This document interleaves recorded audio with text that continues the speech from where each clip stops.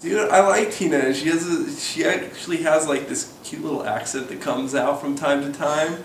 That is kind of cool. It's like this, you know, little Virginia accent, and um, so she's cute. I like her. We had a really good time. We had dinner and then we got to know each other a little bit during dinner, and then we got to talk while we were in the car going to the fireside. And I think he's really cool. I had a really good time getting to know him and talking to him and he seems really fun and outgoing. So it's just really hard to plan Sunday dates and she did a great job. We went and saw this uh, speaker at church and and they were good and they were entertaining and spiritual and then we came back here and had some dessert and that was nice too. Just a nice good Sunday evening date.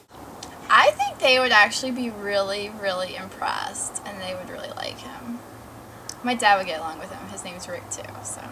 It was Tina's first day here to the, um, to California even, and let alone her first time to the Pacific Ocean. So we went and we kind of dipped our feet into the Pacific Ocean, and that was really cool. It was just cool to feel, see her excitement for California, because we all take it for granted, but to see her excitement is pretty neat. My favorite part of tonight was probably when we sung Happy Birthday he didn't want to sing it to me by myself, so I sung it to him too. and we just sung Happy Birthday and then blew out the candles. I didn't get a chance to see a lot of things she um, talked about. She does horse gymnastics. She um, is like a firefighter. And here we are on Sunday and just, you know, relaxing and taking it easy when I really want to see some of those cool sides to her. So second date possibility.